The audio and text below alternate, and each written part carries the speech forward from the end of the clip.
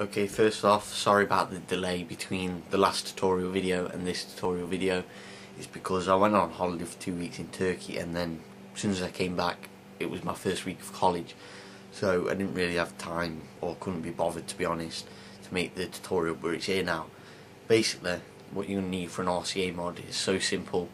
You're going to need a 5 pin DIN plug which looks like that and you are going to need an RCA cable. You can have three plugs on your RCA cable or just have an RCA cable with two plugs. It doesn't matter what colour they are because they all do exactly the same thing.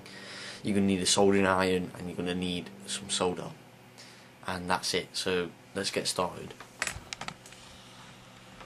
Basically, all we're going to be doing is stripping the RCA cable and attaching it to the 5 pin DIN plug. So we've got the 5 pin DIN plug. As you can see there's a little tab on it there. And what you want to do, you want to get a pen.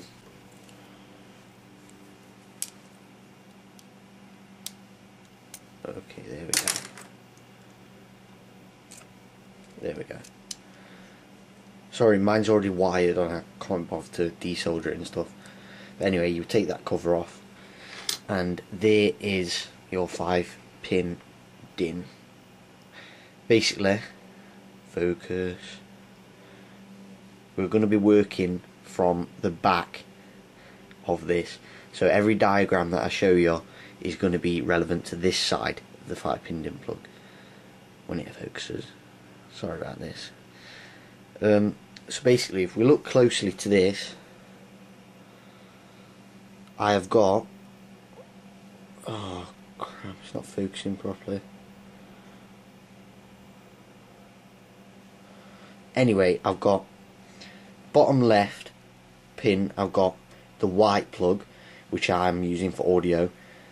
Bottom right I've got the red plug which is what I'm going to be using for video. There we go it's focused.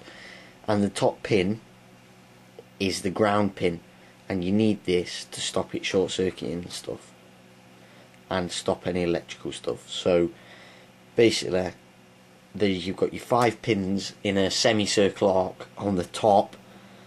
And the top pin is ground bottom left is audio and bottom right is video. So I'm using my red for video so mine's at the bottom right. Ground is the middle and the bottom left one if you had two plugs you'd wire uh, the two relevant audio plugs to that bottom left pin.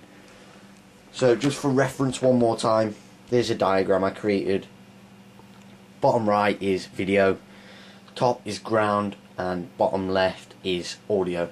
And to create the ground what you're going to do is it's once again very simple sorry about this having trouble focusing and stuff. Um, basically you'll strip these RCA plugs because there'll be RCA plugs at the end here. You just want to cut those off and then you want to take back the wires a little bit strip them and then you'll get the, the relevant cables out the middle so the white and the red in my case. Sorry about this focus doing my head in. There we go. Take I'd take the white and the red out of the relevant plugs and then there'll be uh, copper wires surrounding each of the little white and red little leads inside and you want to take this copper wire from the, the surrounds and you want to wrap them together. So if you was using three plugs you'd wrap all three grounds together and then solder it to the top pin. Once that's all done you just want to put the cover back on then you want to slide the sleeve over.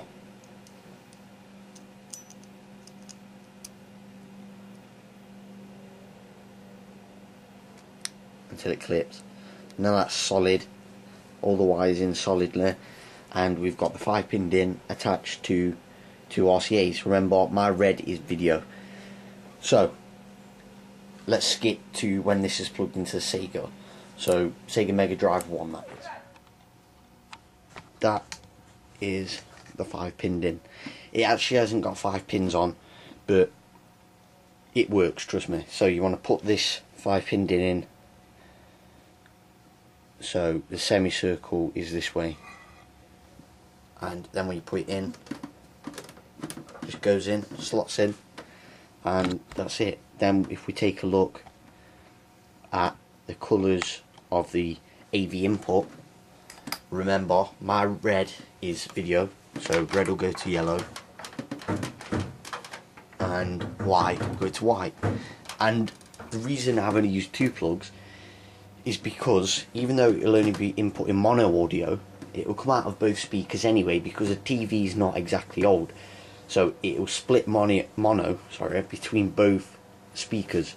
So it won't be coming out of one speaker even though there's only one plug. Yeah, let me go and plug in the Mega Drive's power and then I'll show you it working. Zoom out. It is me, my Atari t-shirt. Um, one second, if we just take a look at the LED mod that we did, which is there, swing, and it is very, very bright. Okay, um, let me just put the channel to the relevant AV. Now it should work and it should give you better quality than a coaxial input. Hey, there we go. It looks very nice. Sega logo you can't really see, but whatever.